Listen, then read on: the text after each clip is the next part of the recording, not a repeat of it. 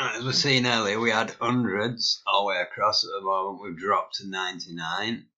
And remove unused CSS, eliminate render blocking resources. So it seems the remove unused JavaScript is not on this one at the moment, but we'll see. So what we'll do now, we'll go in as we've got 100 on SEO. Look, so we know how to get that. We just activate Yoast, give it a meta description and a snippet, and that does that. So to give Elementor a fair play, I'm going to deactivate Yoast and we'll see how quickly web dev does update because it should drop to 92 unless it's sort of like bedded in anyway in some sort of RAM or whatever and it still picks it up we'll see. Yeah 92 so we see that straight away taking effect there. So now we'll look at so looking at media library do we have anything? We have no pictures whatsoever when we go to pages we've got compliance cloud front page and as we've just seen with plugins we've got two active at the moment. So without further ado we'll go and add Elementor and then what we'll do is we'll add an image. Well no we'll activate it first and we'll do a test just from activating it and see if just the installation and activation of Elementor does because like we said earlier this drops to 92 and we had a couple of other issues down here which we don't seem to have any at the moment that's a bit odd because they were there a minute ago let's see. Are we activated? Welcome to Elementor. That's alright, buddy. I don't need a video. Updates, what we got here. Elementor, perhaps. No, 2020. Plugins, themes. Update theme. I'm not going to, because now in my looking middle of the video, it'll all crash. So we'll stick with the theme as it is. We can see that Elementor is indeed in and active.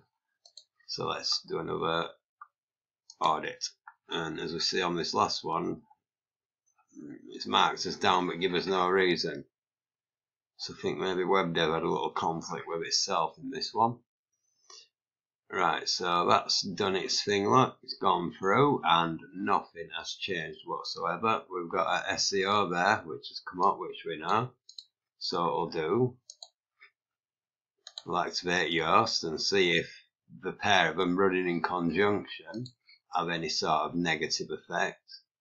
Like, uh, like we can see we've got three issues, but this one should now disappear. Uh, let's have a look at GT Metrix as well, because this was showing 99 and 96 earlier. Look, where is it? 99 and 96. Well, we'll see when we click on here, won't we? Wrong one. Bonehead. Back there, sorry. There we go, what we are showing earlier, 98 and 86. This is the one. 98, 86. So let's retest it now. So a look here. Oh, look at this. Right. Elementor, Yoast, look what you just done, buddies. You brought it up to 100, 100, 100, 100. So again, with this combination of plugins at the moment, you cannot get a better web dev result. And as we see, a 9786, not really bothered about Yahoo to be fair. Page speed, as anybody who knows this, that's Google's one. Let's have a quick look at page speed insights and see what we've got going on there. But this here, this is a, the third time ever. I've done about 100 installs, and luckily for me, twice today, live on video. Look, June 9, 12, 1232, look, 0, 0. I've had it occur again, which is just epic.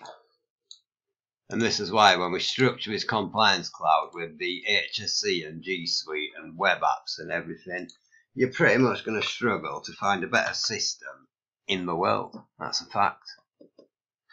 And like I said, with scores like this as a starting canvas, so now, you know, we've got Elementor active. We've got Yoast active. We've got 100% scores. On oh my word, look at that. Where do you see these sort of scores? Come on, where else, where else do you see these sort of scores?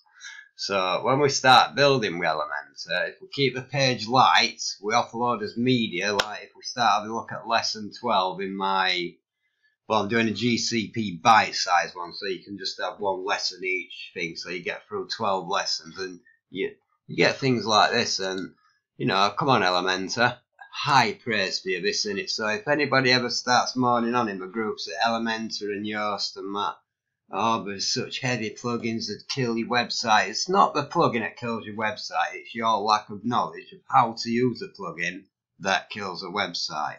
As always, any questions or comments, please feel free to leave them. And stay safe. Regards from Ramsgate, United Kingdom.